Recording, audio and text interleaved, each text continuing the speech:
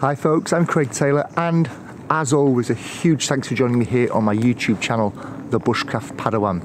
If you've been keeping close tabs on my videos recently you'll know that I talked about in a recent video, it's appearing in the top right hand corner of your screen now, that I was going to go away on a formal course with Frontier Bushcraft and Paul Kirtley doing their intermediate wilderness bushcraft course and that's where I am right now. It is Monday morning. We all arrived here late yesterday afternoon, five, half five yesterday afternoon it started. So what my plan is, is each morning when I get the opportunity, I will do a recap of what we did the day before. Now there's not much to recap in this video because we didn't meet up until half five yesterday evening. So a brief recap on Monday morning and then from Tuesday, Wednesday, Thursday, Friday, Saturday morning, it will be slightly longer because we've had a full day on the course. So there are I think there's about 10 to 12 of us on the course. I must admit, I don't know. I know there are four of us in the group that I am in, along with John, Tom, and Simon. So if you're watching this, fellas, good morning. Um, so there are four of us in my team, there's about 10 to 12 overall.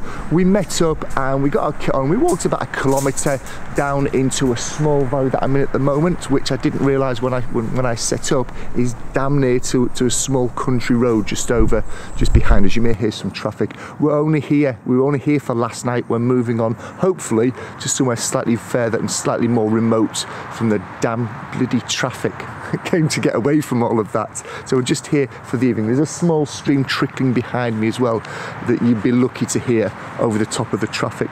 So we sat down yesterday evening once we'd got our once we'd got our taps up and our sleeping kit out and all, all of. Once we'd settled in, we set up and, and we spent an hour, hour and a half with Paul and Henry and James, um, the three the three staff that are on the course. And Paul talked about for those of people that have done the elementary course or something akin to the elementary course, that was much more about immediate bushcraft. Create something, use it, get a result, or don't get a result. Find something, craft it, utilize it, get a result, or don't get a result. Very, very immediate.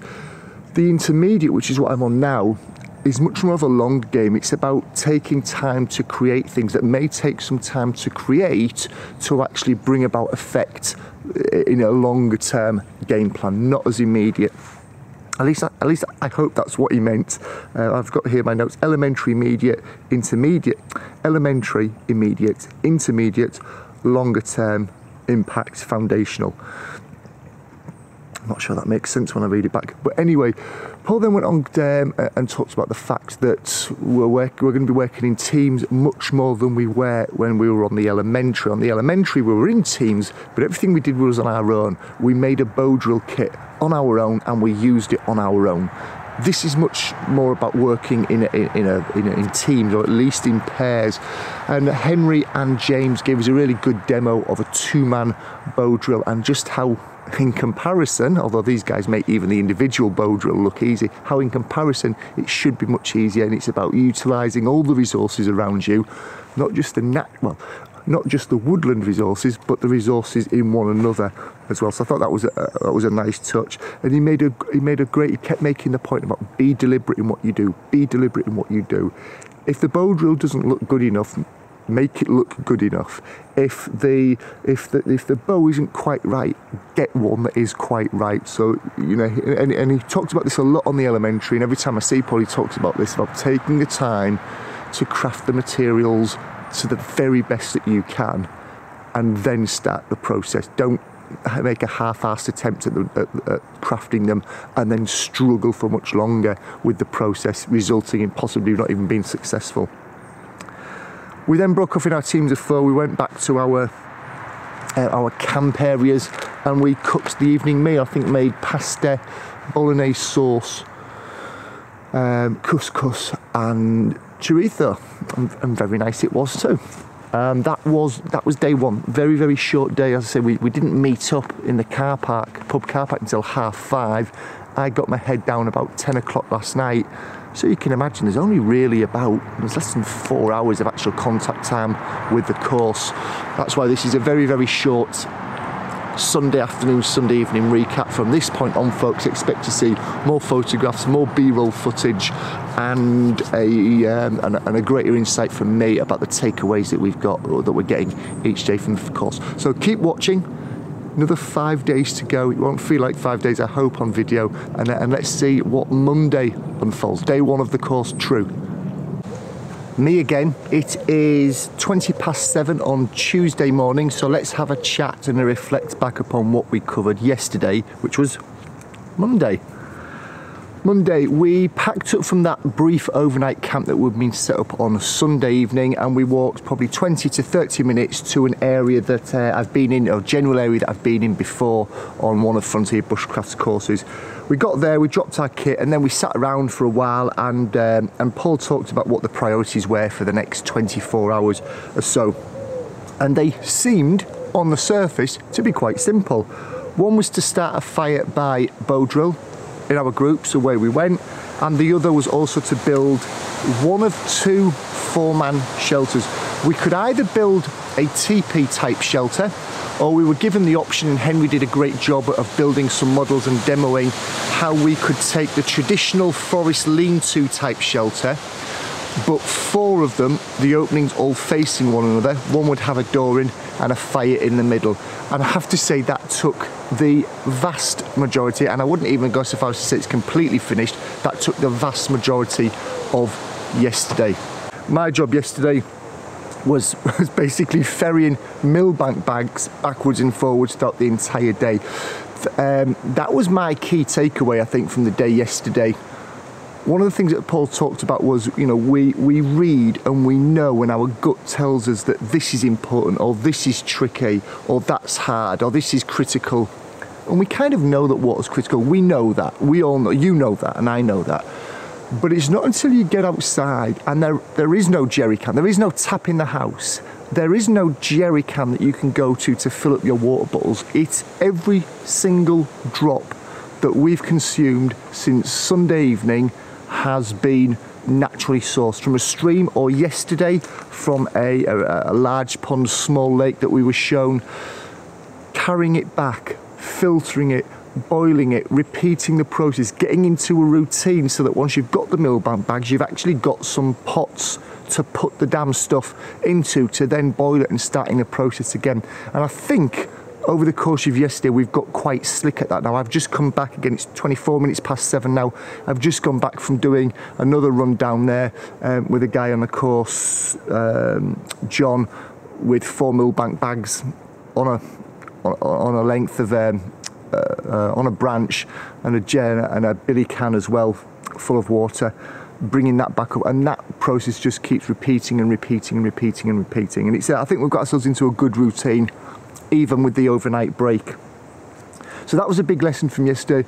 Blair, we've done a great job on, building that four-man shelter. Paul talked about then at the end of the day, once we've got the shelters built, we got into a routine, we went over for a brief with Paul. Paul talked about um, just reiterating hygiene, talked about what we're going to do today, which is to go out. Um, I do a long tree and plant ID slash foraging walk, look for some materials that we can use, because what, what I discovered yesterday is that we were so hot, we were drinking tepid water, water that was still just off the boil. It would cool down enough to drink, but it's not the most exciting thing or tasty thing to drink. And of course, because it's not exciting or tasty, naturally your body doesn't crave it as much therefore you you're you know you're already dehydrated but naturally you're slowing down even more so i imagine we'll be finding some berries or some spruce and pine needles things like that to drop in there just to give it a little bit of taste paul also gave a hand drill demo yesterday evening um, and that's one of the things that we're going to start the process of today and then we all came back to our individual camps. Our camps are spread out quite a way. I, have got a vague idea where some other guys are, and they've got to be four, five, five, six, seven hundred meters away. So we're, we're, quite well spread out. We've not really seen, other than when we come together for a briefing, we've not seen any of the other groups at all in passing. They're, they're certainly not visible, and we're not really walking past them when we go and get the water. So it's, it's feeling like, um, which is good, quite an isolated experience with just the four of us in this team. So that was yesterday. As I said, the entire day, water and shelter building with a tiny little break here and there for a brief or something, but shelter and water building. But I think we've got ourselves established now. I think we've got into a good routine, we've got a good shelter, got a good water collection, um, filtration and purification process. Um, hopefully, all set up for, uh, for what Tuesday will bring us. And via the magic video editing, here I am 24 hours later. It is Wednesday morning, so let's look back at what we covered yesterday, which was by my reckoning, Tuesday. Tuesday started off with breakfast around the fire. It, again, when we're working almost predominantly in our four-man and a, three-man team. This isn't the, the, big communal breakfast like on the elementary and the woodcrafter. This is much uh, this is much more team-based. Breakfast was bacon, egg, and bannock. We then wandered over to the oh, the teaching area, the admin area, the staff's area and we did some two-man hand drill warm-up. They've been very keen to impress that just jumping into doing hand drill having never done it before or not having hands that are in con good condition will just wipe you out for the rest of the week. Your hands will blister, the skin will come off, and it's not just going to ruin your chances of getting an ember by hand drill, it's going to ruin, going to ruin your chances of doing anything if you are planning to use your hands, which I think we probably were. So just a few minutes, no more than that, a few, a few rundowns on the spindle to warm our hands up um, and to start to get them conditioned for hand drill. We then wandered off with a little bit of foraging for some materials. We took down some, uh, some hazel for um, to make a digging stick. We made a digging stick out there. We also harvest some nettles for lunch later that day. James talked about making withies, Never got a chance to actually make any yesterday. Uh, I'm not sure anybody did, but we talked through once again the principles of withies. We took those all back to the staff area, uh, to the teaching area. We then wandered out and took some um, some willow. We felled a, we looked for some um, willow. We felled a tree and we, we brought that back up to, and we made a lot, a hell of a lot. It felt like a lot of cordage from that downed willow. And we, we went through a process of, of, of taking the cordage off, cutting it into strips, soaking it in water with a good handful of ash in there to make, I think they call a lye solution or lime solution, a lye solution, which is a preservative. We boiled that for an hour um, and that's currently sat on our drying rack, drying in the rain. um, we then went foraging for some spruce cordage or for some cordage from spruce roots. Much more successful this time than I was on the elementary where I ended up with either something that was hair thin or something that you could tow a car with. So much more successful this time around. And it was interesting, yes, we've done, uh, I've done foraging for spruce root cordage previously, doing it this time around, everything just fell into place a little bit quicker. Everything just felt a little bit slicker, even though I've not practiced it. So one of the objectives of the, the, the of this intermediate course is to build upon and revisit the elementary skills, and we're doing that. And it's just interesting to see how far I've moved along, either because I've been naturally practicing them anyway, or even if I haven't, I think just building upon a knowledge that's been locked away somewhere up here, even if it's been for a year or two, has proven quite interesting. We, after the spruce root cordage, we also made some broilers. A broiler's as you can see in the photograph here, I've made an attempt at one of these previously, but I mean, this was a this was a four-man broiler. This was a beast of a broiler. We all made one of those and we used it later on in the day. I'll come to that. We, all, we then, right towards the end of the day, we went and harvested. In fact, if I move out the camera slightly, just see down here, where is it? There we go sweet chestnut was taken down and like a, like a hod of locusts we were all over it harvesting back from that to make a basket. And then Henry took us through making a basket. I must admit by this point in the day I was I was flagging a little and I know a few others were as well. So it just I don't know it just it didn't quite go. And I've made a basket you can see it in the picture. I've made it but you know, I mean, thrown together is an underestimate to be perfectly honest. So, I, I, you know, I think this is going to be like the spoon carving for me on the elementary course. Something that I didn't necessarily enjoy at the time, something that felt like a bit at the time, but actually once I go back home and I sort of revisit this video and I and I think it's been one of those things that has been a foundation. It's a seed has been sown, shall we say, I think, with the basket making for me to come back and do again. But I mean, it's functional. I can put things in it and move things from A to B, which I guess is the purpose of a basket. But my heart and soul didn't go into it, if I'm being really honest. Uh, during the day, we also talked briefly about some trapping um, and, and, and, some particular techniques that we looked at or talked about briefly. And then for, for evening meal or for tea, we had um, a steak which cooked on the broiler and some sweet potatoes. We dug a subsurface oven, put the sweet potatoes in there, laid them back over with, with a layer of earth. All this being from an, a, a, um, a, fire that had been um, raging or, or been hot all day long. So the ground was incredibly, incredibly hot. We, um, we buried the potatoes under that, piled it back up with some earth again, and they cooked. Uh, they cooked brilliantly. Probably about an hour, hour and 15 they were under there. So very, very nice evening meal steak and sweet potatoes and a boiled egg that we had left over from breakfast. So it's, it's interesting when I read these things out and I've got that list. There we go. There's the list in front of me there. You kind of think, is that it in, in the day? wow, you know, the, the, the, days are full. The instruction as always is spot on. We're, we're walking to different areas to see the resource in situ, to harvest the resource there and then, rather having it, rather than having it brought to us all pre-felled or pre-prepared or anything like that. It, it, I guess, I guess this is as realistic as you can get without taking the, the staff and the instructors out of the equation. So a very, very busy second day. Today's Wednesday, so I'll see you back here in a few seconds slash 24 hours to see what Wednesday had in store for us. It's Thursday morning, so let's talk about what we did on Wednesday, shall we? Wednesday was usual start time. We, we sort of got up around seven o'clock as we've been doing each morning. A couple of hours admin and, and farting around and cooking and what have you around the fire, and then starting the teaching phase at nine o'clock each morning.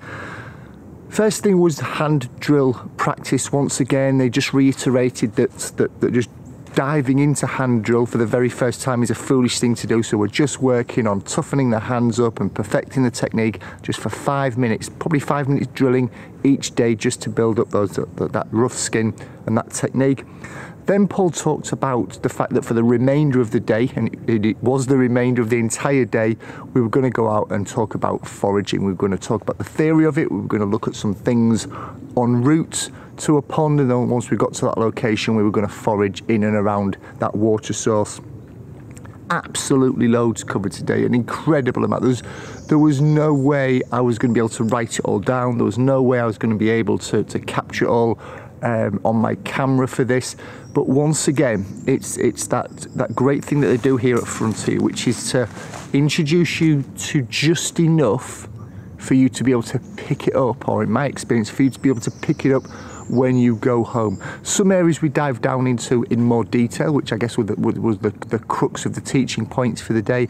But in other areas, it was just enough of a seed sown for me to go and do some research afterwards. Because it was a foraging day, tree and plant ID clearly, clearly at the, at the forefront of that, which was fantastic because as you know, I've been doing the tree and plant ID masterclass for a couple of years now. There's a link to the playlist to those videos appearing in the top right hand corner of your screen right now.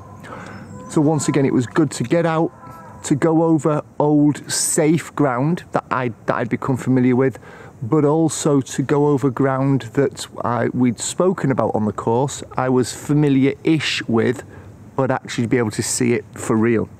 So in no particular order, we looked at um, water peppers. My God, that, that's hot. That's really hot. Uh, rowan, pendulous sedge and, um, and I found for the rest of the day I was just walking along the sedges pulling the seed heads off and just nibbling on them a very nice seedy nutty type of, um, uh, of, of snack as you're going around don't get a lot from it but certainly if you were to collect a lot of it you could uh, you, you could make some recipes out of it. You could probably put it into the bannock. Um, Henry one of the instructors on the course has made a crumble for the top of an apple crumble with it. So lots you can do if you collect it en masse, but also just equally an interesting snack as I was walking around the woods as well. We talked about lime, wood avens, woundwort slash dead nettle. Um, we looked at some dangerous stuff. There's, there's a fair bit of arum maculatum, lords and ladies, cuckoo pints as we were walking around. So we looked at we looked at that for those people that weren't familiar with it. We looked at several different types of mints, not Trebor, extra strong um, wild angelica, ground ivy, and then we eventually, um, after a very long, well, it wasn't a very long walk, it was a couple of miles, but trust me, my knee was letting me know that it felt like it was a, a, a, a much greater distance than it was. We finally got to the, the, the lake, the pond, and then we um, we went through the process of identifying cat's tails, Typha latifolia we got a fire prepped because the plan was that we were going to go pretty much en masse into the water. We were going to um, root out, pun intended, the, the, the tubers from the Typha latif. We were going to um, pass those back to, to the shore, and there's almost going to be this human chain of people harvesting, pushing it through the water, continuous human chain onto the bank where somebody would then would then take off these these tubers which are packed with starch and therefore carbohydrates. So I, I got stripped down, got into the water, bloody freezing. Probably the worst thing I could have done because my thinking was the cold water on the knee, perfect. And it was cold and it was on my knee, but it was also probably above waist height in silt. So I was walking, kind of doing knees to chest like this, walking through the water um, yeah, so absolutely not the best thing in retrospect for the knee. You live and learn, hey? We got the cat's tails, we got them out, we harvested them, we cooked them up, we ate them. Yeah. it's a necessary foodstuff and, it, and, and it's a good survival. Uh, Typha latifolia in itself, loads and loads and loads and loads and loads of different uses, including as a food source. And I don't want to decry the nutritional value of it, but it's just like um, it's hard to describe. There's nothing to it. It's like a slimy, stringy thing that you just chew. You kind of swallow what comes off of that and then spit it out, and you end up with what looks like a ball of chewing gum being spat out. So, yes, there is sustenance, but not in the traditional sense. And again, I think that was a good learning point that you don't necessarily have to swallow something, consume something, internalize something for it to add value to you. We're you know chewing the, the starch off these off these tubers and swallowing that liquid. So I guess you are ingesting it. Um, can be just as valuable if in this sort of situation that we find ourselves in this week. Once that had finished, Paul took us for a walk around the, the wet area that we were in to look at and identify. You know, we, we looked at more ground ivy. We, I, I, harvested a fair amount of um, of mint. What was it called? Water water mint. Didn't write it down. I have to check with that. I think it was water mint. We harvested some of that to make a tea later on in the day. And then on the way back from there, we identified some burdock leaves. Uh, we harvested the leaves for food wrapping. We dug out the roots to consume again uh, uh, and to eat those. We made our way back to camp Back at camp, fire going, usual nighttime routine. For evening meal, it was uh, chicken wrapped in the burdock leaves, salmon wrapped in the burdock leaves, buried under a thin layer of ash and soil under the fire. 40 minutes for the chicken, 20 minutes for the salmon. Once they came up, we'd also um, put on some of the cat's tails onto the fire that we'd harvested from the pond and brought back with us. I must admit, they took a lot. They seemed to take a lot longer to cook in an evening than they did during the day. And um, I, I, I'd gone to bed by the time they were ready, to be perfectly honest. So that was uh, that was day. That was Wednesday. Let's not get into what day it was. That was Wednesday of the uh, the intermediate wilderness bushcraft course with Frontier Bushcraft. That was Wednesday. Long day, a tiring day. Didn't walk that far in reality. If I'd have walked that distance on a normal fresh day, wouldn't, wouldn't, wouldn't have thought a thing about it. But I think all of us and, and, the, and the staff recognise that we're not perhaps consuming our normal amount of calories or not perhaps consuming the calories in the ratio that we normally would. They're giving us the protein, we're having to hunt out the carbohydrates. So a lot of time was spent during the day explaining to people physiologically why people might be feeling the way they are, why um, why the body's responding the way it is to not consuming what it is used to consuming in terms of carbohydrate intake. Fantastic day, long day, tiring day, hungry day. It wasn't a hungry day; it was a tiring day more than a hungry day. But um, yeah, onwards and upwards. It's now Thursday morning, so I'm going to get this camera packed up. I'm going to get back over, finish my admin off, get over to a teaching area, and let's see what Thursday brings us. It's Friday, so let's talk about Thursday. Breakfast as usual eggs, bacon, bannock. I think we knocked up a pancake as well. Certainly get enough to eat uh, um, for, for breakfast, I must admit. Then we went across the teaching area, did more hand drill practice. Again, toughening the hands up, conditioning the hands, not jumping in feet first. Although I must admit, we've only got a day, two days left of the course today and tomorrow. So um, hopefully we'll, we'll, start edging towards getting our hands in condition, ready to hopefully create an ember. Uh, we were using clematis as the hearth board and elder as the spindle. And then speaking about the, the actual spindles themselves, we spent quite a bit of time yesterday morning being shown how to select the right spindle and then strip the bark, uh, heat it up over a fire just enough to be able to, to, to, flex it and to bend it and to hold it in place. And what we're looking for is as, as straight a piece as elder as we can possibly get. And we, we're advised to put it to one side, come back to it after a couple of hours, maybe after a day, straighten it again. This isn't one of those um, pieces of kit like a bow drill where you can just take it, fashion it and use it. It needs some conditioning, but it, from, from what I've seen, it lasts a lot longer than bow drill as well. So there's a trade-off, I guess, between the immediacy and the long-term benefit you can get from it. Once we'd finished those hand drill spindles, we wandered across to an area that's actually, as I'm recording this video, I don't know why I'm pointing it out because you can't see it, but just over there, um, we set up some swivel poles and some swivel snares. They've been out now for about 24, a little less than 24 hours. Nothing in them as yet. I keep checking. We then um, we then had soup for lunch. What did we have? It was it was wild mush no it was mushroom and wild rice soup and very nice it was too. We then wandered over to one of the other groups um, areas to have a look at the area that they'd set up and get talked through their admin there and Henry one of the instructors on the course took us through making netting needles not knitting needles netting needles. Quite an intricate process beautiful when they're created. Um, I created one and um, split it. So I created a second one and split it. Then I created a third one. You can fill the gaps in, can't you? And split it. So clearly, my ham-fisted nature is uh, is not well suited to carving netting needles. Although, again, just like on the elementary course, when I wasn't that taken with spoon carving, once I got back home and I got the time to focus on it and go through it more methodically, like I like to do, uh, I'm sure it'll be something that I can I can have another second, fourth attempt at, fifth attempt, sixth attempt.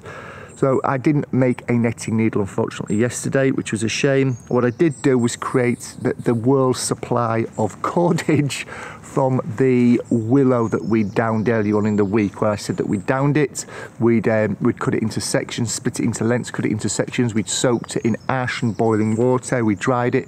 We then re-soaked it yesterday, and I made quite a lot of natural cordage, which I quite like doing. I, I do enjoy that. Is um, it's one of those things that, that, there's an element of, of, there's a small element of technique, a lot of muscle memory, and you can almost you can almost do it with your eyes. You can do it with your eyes closed to a huge degree. You can be you know you can be looking around, you can be talking to other people, you can be taking things in, and your hands can just be working away at making this cordage. I do find it quite uh, quite relaxing. And then uh, then was, was sorry shit's looking at the top of my head there as I'm looking at my notes. That took up the rest of the afternoon. We then went back to teaching area where Paul and Henry had the biggest leg of lamb I've ever seen.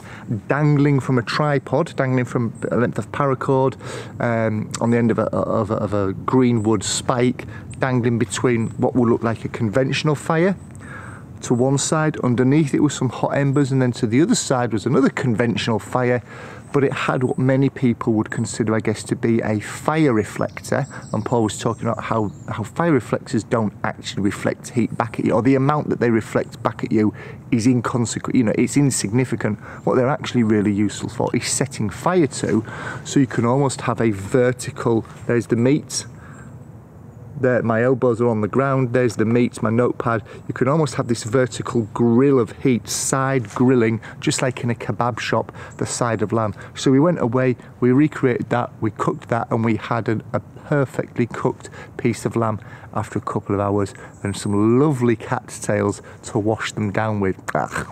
And that was that was the day that was Thursday. So today's Friday. Keep watching and let's see what we get up to today. It is Saturday morning, so let's have a look at what we covered yesterday, Friday. Breakfast as usual, bacon, eggs, bannock. I think we had pancakes yesterday. Living the life of luxury. Uh, we then went over to the teaching area, and once again, as we've done, I think every morning of this week, we have uh, over the past week, we did some hand drill practice again, toughening those hands up. Um, me and Tom, the guy that I've been working with, we seem to be getting a good amount of dust, which is brilliant, but as yet, no ember has formed from that. So we keep going, we keep practicing, we keep refining the skill, we keep toughening our hands up and keep building day after day after day till hopefully it happens in the not too distant future. We carried on, I carried on making a little bit more, finishing off some of the cordage that we did the, uh, the, the, the previous day. So I've got quite a lot of natural cordage with me now. And then Henry took us through, um, uh, built some models for us about how to build log beds. We've got our shelters now. We've got this four-man shelter but himself and Paul talked about being able to get yourselves up off the floor for comfort, to allow heat to pass under you from a fire if you've got that within your shelter, to act as a bench to sit on, to admin yourselves, um, and, and, stuff like that. So we, there were, we were then turned loose for, must have been the better part of two and a half, three hours to make these log beds, and trust me, they well, they certainly took me two and a half, three hours, and I didn't quite finish it. So I got the bed up off the floor, I got it elevated, which was good, but didn't quite finish putting all the brush on top of it. So um, more on that later on, just a few seconds. We then went on a walk and we talked about uh, different types of trapping or different types of traps, figure four, dead falls, um, snares, trapping ground feeding birds. We looked at a what looked to be some sort of friction bow, and Paul showed us some some traps that uh, poachers have used in the past. And then myself and Tom, we used uh, we, we we practiced and, and built one of those poachers type snares um, just using a simple toggle as a mechanism. None of these complicated notches that need carving at just the right angle and just the right depth for just the right friction. It's just a wooden toggle on a piece of cord and the way it wraps around the, the, the ground anchor is what the trigger is, the hair trigger. So that was quite interesting um, and, and, and um, quite an interesting and cool thing to learn. Then we spent a little bit more trapping practice. We went back up to the teaching area and Paul talked about woolen blankets, the history of woolen blankets, from um, the blankets that the Maasai wear in Africa through to the Hudson Bay Trading Company woolen blankets that are kind of globally known and he passed one of those around. And then we kind of scaled things down a little and we all got an, an old army issue blanket that I honestly thought I'd seen the last of many years ago. So we've got a brown Army, a British Army issue woolen blanket, and um, the plan was for to spend the night sleeping in our four-man shelter with a fire inside the shelter on our log beds with our uh, with our um, dead twig mattress with the woolen blanket. And I certainly attempted that, I have to say, but I must admit that um, I fell off once rolling over to try and get the blanket over me. I fell off and then the second time I partially fell off and at that point I thought this just isn't working so I, uh, I ditched the blanket and got back into my sleeping bag. I know what it's like to have an uncomfortable night's sleep. I don't need any more reminders. So, uh, so, I, yeah, but I tried. I tried the woolen blanket. It wasn't for me, so I got into my sleeping bag. Um, uh, just before we got, our heads down, they showed us how to panasse chickens and guinea fowl. Slightly different, slightly easier in my opinion than panassing salmon. I guess it's a, a, a, tougher piece of meat, but quite a simple technique to do. We had one guinea fowl amongst the four of us and three smaller poussins, poussins, poussins, small chickens um, amongst the four of us as well. We gorged ourselves on that. And then for me, it was an, I say an early night, 10, half 10, 11 o'clock or whatever it was. But for me, I got my head down earlier and because uh, I knew I would endure the woolen blanket wrestle. And I did for the rest of that night or most of the rest of that night. So that was the day that was Friday. Let's see what Saturday brings. It is Sunday, which means that yesterday was Saturday, which means that yesterday was the final day of the course. So I'm back home, I'm degunged, I'm scrubbed, my kit's all clean, sorted and put away again. So I've come out the following day to not only recap on the final day of the course, day six, but also just have a think about the course in general and what my next steps are. What did we do on Saturday then? Normal start in the morning, um, seven o'clock, nine o'clock start over at the teaching area. I got over there a little bit earlier on the final morning because I really wanted to get stuck into the net making. I'd really sort of got a bug for that the day before, so I wanted to go back and finish that off. We then met up in the teaching area around nine o'clock and we took with us our um, hand drill spindles, the cordage that we'd made, the foraging baskets that we made. And we set off on a walk as a group and we made our way from where we'd spent the majority of the week to where we spent the very first night, the Sunday night before, the, the, the overnight sort of bivvy area that we stayed in. We got there and Paul essentially gave us a brief that we were to break up into pairs and I teamed up with Tom who I'd been working with for the majority of the week. Hello Tom if you're watching. I teamed up with Tom and the brief was that we were to go basically bomb burst in all sorts of different directions and for it's probably about two and a half, three hours in total to move out and to come back two and a half to three hours later with as many positively identified and foraged things that we could find, that we could consume, that we could eat, that we could drink, that we could use for medicinal purposes. We were to try and find as many species as we could, excuse me, but we were also to bring back as much lunch as we could as well. So it wasn't just a case of saying, this is a nettle leaf, this is a bramble, this is a nut. We were actually supposed to bring as much back as we could because that is what we were going to feed ourselves on for that final lunchtime. So Tom and I set off and our plan was, which we acted on, was to go to the furthest point we'd been all week, which was the ponds where we'd done the, the cattail diving because we knew that there'd be some cattails left there. We knew that there was a lot of uh, resources in the local area because Paul had given us a, a tour of that during the afternoon we were at the pond. So we went as far as we could, we struck that off and then we worked our way back, picking up all sorts. We probably had, I would say, 20, 25 different types of species of tree or plant that we could do something with, either eat or add to a drink or had some form of medicinal purposes as well. And we brought back uh, a lot of blackberries, uh, a lot of brambles and a lot of nuts as well to chomp on that lunchtime. The second part of the brief is once we were all back, the challenge was as a team of four now, so we team back up with John and Simon at this point. As a team of four, we were to um, establish a fire by using hand drill. So we used my hand drill, we used um, a, um, a hearth board that Paul gave us, and as a team, we attempted hand drill. First run through, first run down, loads and loads of dust, loads of smoke, but no actual heat being transferred to the dust to build up that ember. Tom carved out a new notch. We went at it again, and very quickly we achieved an ember. And I'm pleased to say, of the of the three groups that were there in total, we were the first group to blow it into flame and establish a fire. And at that point, Paul brought over, um, I think it was a duck egg. If anybody remembers Mork and Mindy from the 80s, I'm showing my age there, it was as big as Mork's egg that he landed on Earth from, this, this huge thing. So we all got one of those and we added that to our lunch as well as a little bit of fresh rations alongside the forage stuff. Personally, I think this was a real highlight of the week. It was completely on our own. We were up against the clock. We, you know, we, we, we were let loose, if you like, to apply the tree and plant and material identification that Paul had been drip feeding throughout the week to us. It was a really, really good final exercise, I think. It was similar to the final exercise in a way that you do at the end of the elementary course where you've got a handful of tasks and a period of time to achieve them. There was no task at the end of the Woodcrafter.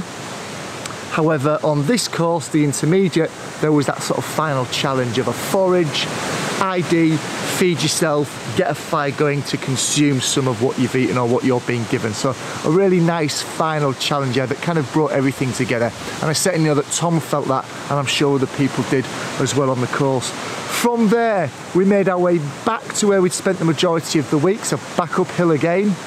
and the rest of the day was was basically spent cleaning up kit, handing kit back in if anybody had borrowed any, stripping the shelters down, distributing the shelters, cleaning up the fire pits, things like that. Uh, and, and, that was no short day. We didn't finish till sort of 1800, 1830 ish that evening. So it was it was a good solid day. Again, there were no sort of half measures um, on this course, as there were none of any of the course I've done. Truly full days uh, and got a lot out of it. It was a good, very good final day. So let me just have a been thinking this morning and I've made a few notes here with the things, the, the overall impressions of the course. We've talked about each day individually, let's talk about the course as a whole. I'm kind of lost for words a bit because I went on the elementary, it was brilliant. I went on the woodcrafter, it raised the bar. I've just come back off the intermediate, that bar's gone up again. I don't, I, I don't I don't quite know how high it's going to keep getting. It was a fantastic course. It was a brilliant week. Paul, Henry, James, a massive thank you for the, the, time and effort that you put into to all of us, me, but all of us throughout that week. Um, it, it, doesn't go unnoticed by anybody. And a big thank you as well to the rest of the people that were in my team, Tom, John and Simon, and of course every other student that was on the course. It, it was a good course, everybody grafted but it was, an, it was an amazing course. Why was it good? Well, I've written a few things here. The course synopsis for this, if you look on the Frontier Bushcraft website, says something like, this course starts where other bushcraft courses finish or leave off. And it's absolutely true. And Paul mentioned that at the beginning, at the very beginning of the week, and it's absolutely spot on. It, it really does kind of pick up where the other courses that I've seen advertised, that I've been on myself, finish off um, and it does it with, with bells and whistles on it. I think one of the great things for me of the whole week if we if we put aside the great instruction, the time and the effort that's put in by all the staff that were there into the students that are on it, it was the balance between teaching you and instructing you and coaching you and guiding you and being there for you versus letting you get on with it. A little distance from the from the instructors camp but just letting you get on with it both individually and as a group. I don't know how they achieved the balance and, and I don't know if everybody felt the same but I personally felt it was the absolute perfect balance. You don't pay money to go on a course to be ignored for six days but equally this is an intermediate course so there is an element a big element I, I suspect of, of, of the self-reliance and just being able to get on with it and get into a routine and crack on they weren't hovering over us. The only time this staff ever came over to sort of check on anything was when it was safety related. And the only thing I can think of was when we initially put the shelters up, they had to make sure that those cross members were um, were robust enough. Otherwise, a, a serious amount of weight was going to come down on people, probably whilst they were asleep. But but nothing else. You kind of left to get on with it on your own. If your fire went out, it went out. If your fire wasn't hot enough, things didn't get cooked. If your bed wasn't well made, you had an uncomfortable night's sleep, there was no kind of, of, of nudging or prompting. You were just left to get on with it. The nudging and prompting came during the teaching sessions when new skills were being introduced. And that was. I think that's. I think I'm hitting the nail on the head there. If you if the, you were putting into practice the skills that you were expected to have by going on an intermediate course, you were left to get on with it, unless it was safety related.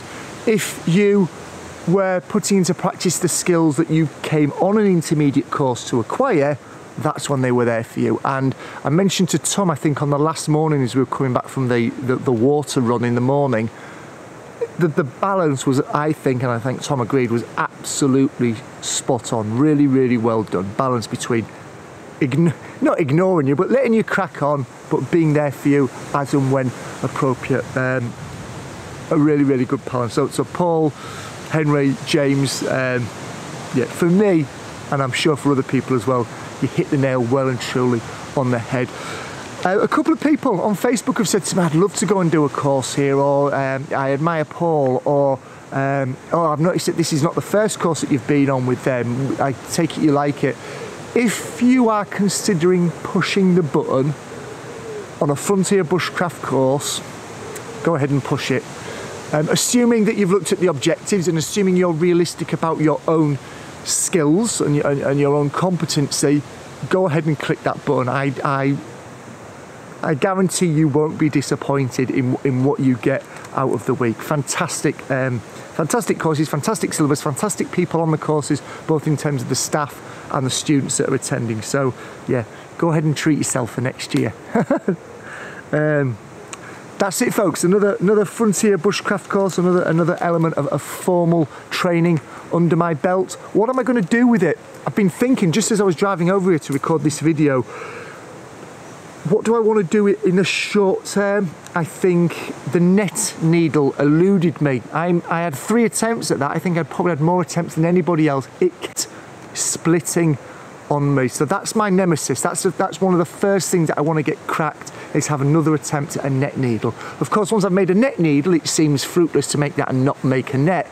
So I want to get back into the net making game because I enjoyed it.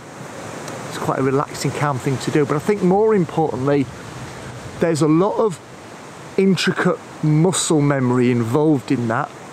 Um, and I'm probably going to forget it. So I want to dive back into that as soon as possible. The other uh, tree and plant ID, it's just added another layer of confidence on top of what I was already building. But the other thing as well that, that sprung to mind, two things that sprung to mind. One, the, the container that I made out, of the bark container that I made out of sweet chestnut, it's still functioning now. We were out foraging with it. My daughter was carrying it the other day as we were foraging some brambles and it worked perfectly. But I love to keep my hand in in that because I think on the course, the day we did that, I was tired uh, I didn't take it all in. I didn't probably complete it to the standard that some other people did, and that grates on me. So I want to I want to claw back at that. But I think the thing that's perhaps most accessible is most of the cooking that I do when I go bushcrafting is in a pot of some description. Not all of it. I do eggs, I do tomatoes on the fire, things like that. But most of it's done in the pot. So I do want to try some of the techniques, both surface and subsurface cooking that I learn on the course as well less to clean up when I get home, I guess. So they're my, they're my takeaways. Net needle, netting, container, um, cooking without the use of a pot. So expect to see in the weeks and months to come some videos coming up on my channel looking at those things specifically. If you've stuck through to the end of this video, a massive thank you. I hope you've enjoyed the, the few minutes that we've been together in this video that relate to, of course, six entire days out in the woods. And I, and I hope I've, I've, I've um, I hope that you've enjoyed watching what I got up to, that what we all got up to during that week. I hope perhaps it's given you maybe some ideas of things that you'd like to tinker with and, and perhaps never thought of. And of course, maybe it's given you an idea to, to go away and, and undertake some form of formal training yourself. If you've enjoyed watching the video, please do remember to subscribe if you're not already. There's still some people out there that haven't subscribed. Can you believe the cheek of these people? So please do consider subscribing if you haven't already. Thank you if you have like it, share it with whomever you wish to share it with, and let me know in the comments below what question can I come up with for the end of this video. Let me know in the comments below what you saw me get up to this week that has maybe resonated with you. Maybe it's something you've tried in the past and not been successful at. Maybe it's something you've tried in the past, been successful at, but you've just kind of let it slip or you've forgotten about it. Maybe it's something you'd never heard of or never considered. Let me know in the comments below something you've seen or heard in this video that's resonated with you and why has it resonated with you. I'll see you in the woods very shortly and thanks for joining me. Cheers.